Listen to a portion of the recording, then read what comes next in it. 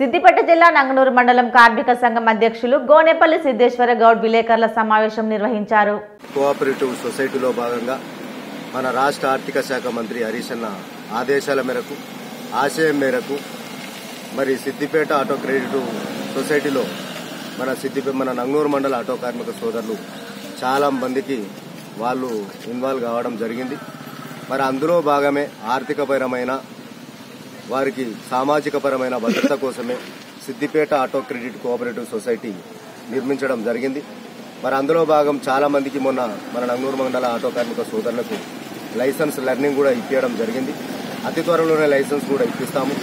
అదే కాకుండా నిన్న రా- రాత్రి మన ఆర్థిక శాఖ మంత్రి మన ఆటో కార్మికుల కోసం మనకు ఎన్నో వరాల జల్లు కురిపించడం మొదలుపెట్టారు. ఎందుకంటే మన కోసం మన ఆటో కార్మికులు మన టీఆర్ఎస్ కుటుంబ సభ్యులే అన్న ఉద్దేశంతో వారికి లైసెన్స్ కావచ్చు.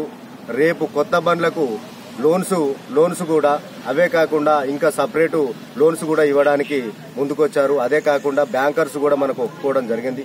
ప్రతి ఆటో కార్మికుడు నంగనూరు మండలంలో ఎవరున్నా సరే వారు దీన్ని వినియోగించుకోవాల్సిందిగా కోరుచున్నాము. ఇంకా అందులో భాగం ఏంటంటే రేపు ఇంకా మన ఉచిత శిబిరం కూడా నిర్మించడానికి మన కంటి శిబిరం కావచ్చు.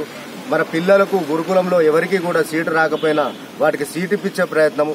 మనకు అదే కాకుండా మన కార్మికుల్లో ఎవరికి ఇబ్బందులు వచ్చినా కూడా ఏదైనా హాస్పిటల్ ప్రాబ్లమ్స్ వచ్చినా కూడా ప్రతి ఒక్కరికి ఆర్థిక పరమైన సామాజిక పరమైన ఉద్దేశాన్ని ఇచ్చుకొని మనకు హరీష్ అన్న ముందున్నాడు.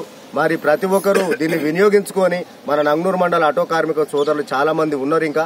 వాళ్ళు వచ్చి తక్షణమే వారి యొక్క వాటాధనం కింద మన సొసైటీలో చాలా మంది చేరినరు ఇంకా చేరే వాళ్ళు ఉన్నారు కాబట్టి వారికి లైసెన్స్ ఏవైతే లేవో బండ్లకు కూడా ఫిట్నెస్ లేనివి పేపర్స్ లేనివి ప్రతి ఒక్కటి ఉన్నాయి. అవి ఒక్కటి ప్రతి ఒక్కరు చేసుకోవాల్సిందిగా కోరుచున్నాము.